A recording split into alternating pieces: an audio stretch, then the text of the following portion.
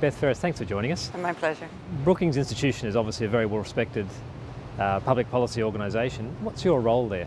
I'm a senior fellow there, which means I do research on a range of topics, but I also co-direct a project known as the Brookings LSE Project on Internal Displacement that really looks at humanitarian issues, particularly internally displaced persons, which really brought me to the issue of natural disasters. And you spoke yesterday on the issue of civil military response to natural disasters. Right. What was the, the, the key point you wanted to get across yesterday? I think first of all that the, the number and severity of sudden onset natural disasters is going to increase.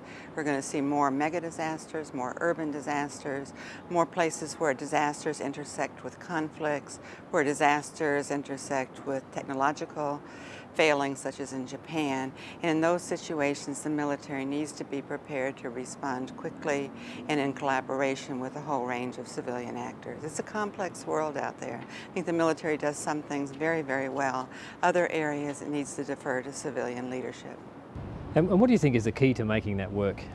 I think knowing each other, that understanding different ways of working, different jargon, different language, different procedures. Uh, you know, military tends to work with a command and control structure, and yet most civilian humanitarian organizations are more, you know, consensus building and process oriented and talking through things, and sometimes those cultures don't automatically work together really well. Because I guess the traditional role of the military is, is a bit different, and they're being asked to adapt to to a variety of situations. Uh, and yet some of the, the, real strengths of military response are desperately needed in these crises. You know, ability to move quickly, to the logistics, the lift power, the capacity, the communications, and those are all qualities that, as I said, are urgently needed in disasters.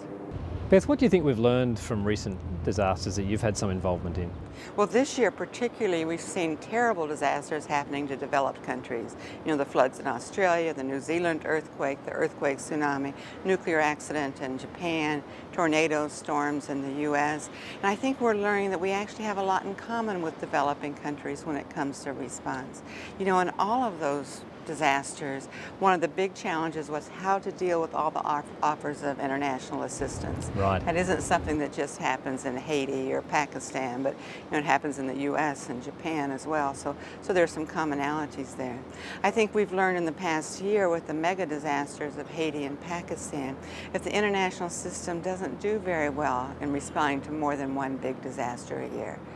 You know, it's really overstretched. When Haiti happened, you know, people were pulled out of other crises and people were moved from Haiti to work in Pakistan. And the system as a whole just doesn't have the capacity to respond to lots of mega disasters. So you've, um, prior to Brookings, you've had about 20 years in humanitarian response. Um, what drives you to, to continue in this field? What's your passion? I think it's just the most wonderful work in the world. I think it's such a privilege to be able to help in one way or another people who are suffering the worst ravages of war, or disasters, and so on. And, and in those situations, you always see this wonderful outpouring of generosity and creativity and compassion from local communities in ways that's truly inspiring. You know, it makes you want to go home and raise more money or, or write more articles or get more attention to the situations when you see the real dedication of people on the ground. It's wonderful work. And I think everyone wants to help, everyone wants to know how they can contribute.